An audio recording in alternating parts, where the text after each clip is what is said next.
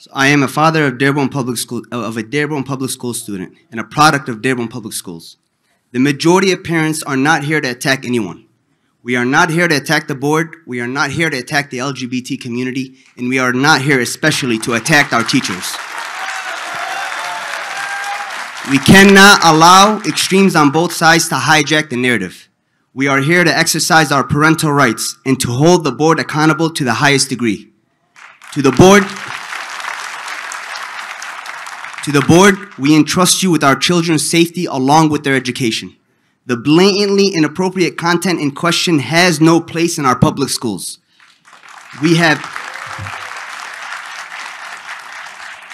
We have chosen you as our board to protect our children from age inappropriate content.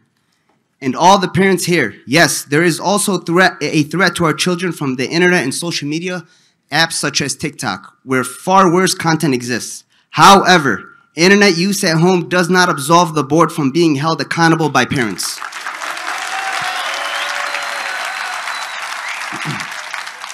We are justified in voicing our concern about normalizing sexually inappropriate content in public schools.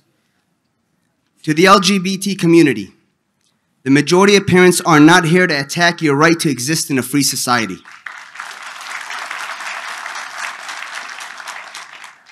But parents also have rights to protect their children. Criticism of age inappropriate content is not criticism of the LGBT community. However, advocating for such materials to be placed in schools is a violation of parents' rights.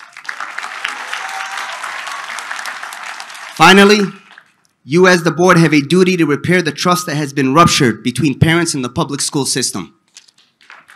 And, and for the person that said that uh, in the back, I'll repeat what he said. American values and the American way is not child pornography.